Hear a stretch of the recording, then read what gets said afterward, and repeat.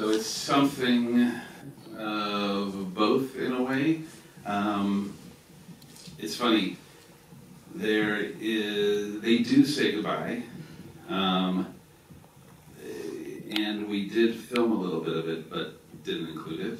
Um, it's kind of like there's a jump there, um, but the the trick of this scene, and particularly with Yakov saying goodbye to Sarah, uh, men can't touch women in the community unless it's their wife, and so he can't. He hasn't yet figured out how to hug, um, and he's very uncomfortable, and so he's still learning it.